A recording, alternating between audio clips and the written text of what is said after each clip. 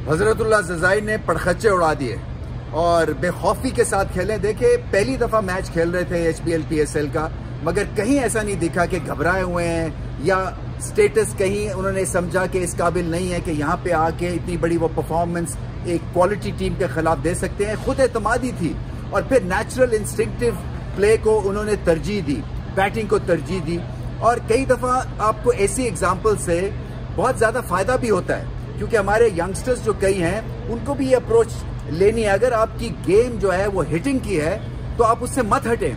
मगर गेंद को कैसे हिट करना है ये सीखना है। और उसमें बेबाकी बेखौफी लाने के लिए आपको रिहर्सल प्रैक्टिस और एक्सिक्यूशन की तरफ़ तवज्जो देनी है।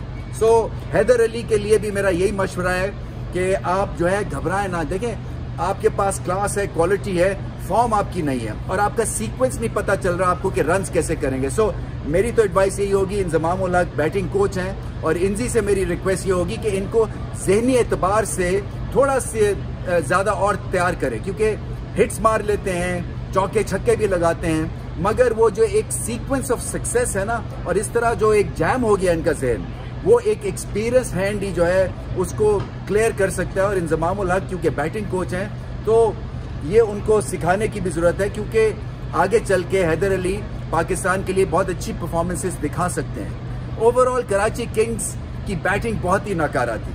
अब्बास ने आखिर में आके हिटें मारी और अच्छे टैलेंट दिखते हैं वो, उमर गुल के वो नेफ्यू हैं। बट ओवरऑल देखें तो स्टार्ट भी अच्छा नहीं और मिडल ओवर्स भी ठीक नहीं खेले विकटें गिरती रही। हालाँकि ड्यूई कंडीशंस में बॉल को ग्रिप करना बड़ा मुश्किल होता है। ना गेंद स्पिन होता है ना गेंद सीम होती है। आ, मगर फिर अगर आप तुले हों कि आप ही ने गलतियाँ करनी है तो कराची किंग्स को कोई बचा नहीं सकता है। सो ये डिफीट्स का मतलब ये है कि किंग्स को दोबारा से एक तरह से बोर्ड पे जाने की ज़रूरत है। और जहनी एतबार से मेंटली और टेक्निकली अपने आप को ठीक करना है दुरुस्तगी की ज़रूरत है। और ये इमाद वसीम ही कर सकते हैं। नया बॉल उनको करना चाहिए था इसलिए कि नया बॉल जो है वो यूज़ टू है करने के। देखिए कप्तान जो है वो कई दफ़ा अपने दो एक एक्शन से बहुत कुछ कर, कह जाता है और इंस्पायर करता है एक गिरी हुई टीम को। सो so, इमाद को इस तरफ़ तवज्जो देनी है। हालाँकि आज जो बैटिंग जो उन्होंने की थी उसमें उसका मकसद यही था कि लंबी वो बारी खेलेंगे मगर ऐसा हुआ नहीं। क्रेडिट देना पड़ेगा समीन गुल को। जलमी के जो कि दो साल के बाद आए और बहुत आला उन्होंने बॉलिंग की। इसी तरह से अबरार लेग स्पिनर तीन साल तक वो गायब रहे। और मुझे अफसोस इस चीज़ का है कि रिप्लेसमेंट्स की वजह से वो इस जलमी की टीम में आए हैं। थिंक टैंक ने उनको, उनकी फ़र्स्ट प्रेफरेंस नहीं थी और मैं हैरान होता हूँ कि जजाई फ़र्स्ट प्रेफरेंस क्यों नहीं थे। इसी तरह से इब्रार क्यों नहीं थे। इसी तरह से समीन गुल क्यों नहीं थे।